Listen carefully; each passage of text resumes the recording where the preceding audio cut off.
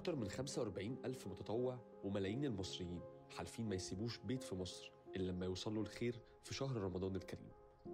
شاركنا نوصل الخير لأهلنا في كل مكان في مصر.